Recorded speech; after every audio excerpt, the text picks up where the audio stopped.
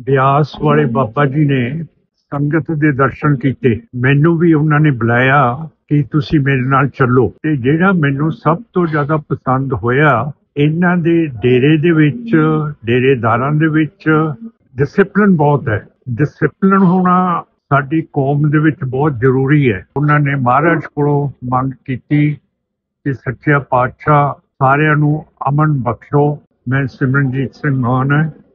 ਪੰਥ ਦਾ ਸੇਵਕ। ਤੇ ਅੱਜ ਅਸੀਂ ਲਹਿਰੇ ਗਾਗੇ ਤੋਂ ਲੈ ਕੇ ਜਿੰਨੇ ਵੀ ਕਸਬੇ ਆਉਂਦੇ ਐ, ਅਹਿਮਦਗੜ੍ਹ ਤੱਕ ਮਲੇਰਕੋਟਲਾ ਧੂਰੀ, ਸੰਗਰੂਰ, ਸੁਨਾਮ, ਉੱਥੇ ਬਿਆਸ ਵਾਲੇ ਬਾਬਾ ਜੀ ਨੇ ਸੰਗਤ ਦੇ ਦਰਸ਼ਨ ਕੀਤੇ।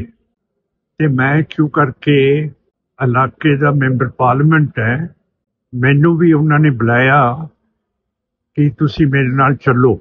ਤੇ ਮੈਂ ਉਹਨਾਂ ਦੇ ਨਾਲ ਸਾਰੀ ਸੰਗਤ ਦੇ ਦਰਸ਼ਨ ਕੀਤੇ।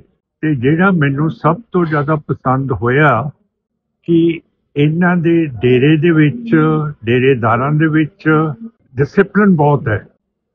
ਤੇ ਡਿਸਪਲਿਨ ਹੋਣਾ ਸਾਡੀ ਕੌਮ ਦੇ ਵਿੱਚ ਬਹੁਤ ਜ਼ਰੂਰੀ ਹੈ।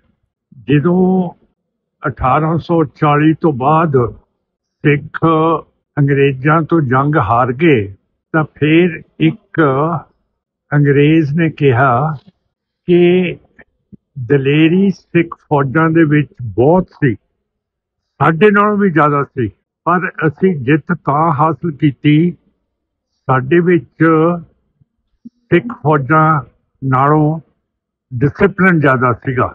ਸੋ ਮੈਂ ਬਹੁਤ ਇੰਪ੍ਰੈਸਡ ਹੋਇਆ ਇਹ ਡੇਰੇਦਾਰਾਂ ਦਾ ਕਿ ਜਿਹੜੇ ਬਿਲਕੁਲ ਚੁੱਪਚਾਪ ਬੈਠ ਕੇ ਆਪਣੇ ਬਾਬਾ ਜੀ ਦੇ ਇਹਨਾਂ ਨੇ ਦਰਸ਼ਨ ਕੀਤੇ ਹੈ ਤੇ ਬਾਬਾ ਜੀ ਨੇ ਇੱਕ ਤਾਂ ਡਰੱਗਸ ਦੇ ਬਾਰੇ, ਇੱਕ ਜਿਹੜੀ ਗਰੀਬੀ ਹੈ ਉਸ ਨੂੰ ਖਤਮ ਕਰਨ ਦੇ ਲਈ ਤੇ ਜਿਹੜਾ ਖੂਨ ਖਰਾਬਾ ਸਾਰੀ ਦੁਨੀਆ ਦੇ ਵਿੱਚ ਹੋ ਰਿਹਾ ਹੈ ਖਾਸ ਕਰਕੇ ਗਾਜ਼ਾ ਤੇ ਇਜ਼ਰਾਈਲ ਦੇ ਵਿੱਚ ਉਹਨਾਂ ਨੇ ਮਹਾਰਾਜ ਕੋਲੋਂ ਮੰਗ ਕੀਤੀ ਕਿ ਸੱਚਿਆ ਪਾਤਸ਼ਾਹ ਸਾਰਿਆਂ ਨੂੰ ਅਮਨ ਬਖਸ਼ੋ, ਜਿਹਦੇ ਨਾਲ ਖੂਨ ਖਰਾਬਾ ਨਾ ਹੋਵੇ। ਤੇ ਅਹਿਮਦਗੜ੍ਹ ਮੈਂ ਉਹਨਾਂ ਨੂੰ ਛੱਡ ਕੇ ਵਾਪਸ ਕਿਉਂ ਕਰਕੇ ਮੈਂ ਦਿੱਲੀ ਜਾਣਾ ਸੀਗਾ? ਕੱਲ ਭਾਈ ਬਿਆਨ ਸਿੰਘ ਦੀ ਬਰਸੀ ਦਾ ਭੋਗ ਹੈ। ਇਸ ਕਰਕੇ ਮੈਂ ਫਿਰ ਉਹਨਾਂ ਤੋਂ ਵਿਦਾ ਹੋਇਆ ਤੇ ਉਹਨਾਂ ਨੂੰ ਫਤਿਹ ਬੁਲਾਏ ਤੇ ਥੈਂਕ ਯੂ ਕਿਹਾ ਕਿ ਜਿਹੜਾ ਤੁਸੀਂ ਮੈਨੂੰ ਆਪਣੇ ਨਾਲ ਇੰਨੀ ਡਿਸਪਲਿਨ ਸੰਗਤ ਦੇ ਦਰਸ਼ਨ ਕਰਾਏ। ਵਾਹਿਗੁਰੂ ਜੀ ਕਾ ਖਾਲਸਾ, ਵਾਹਿਗੁਰੂ ਜੀ ਕੀ ਫਤਿਹ।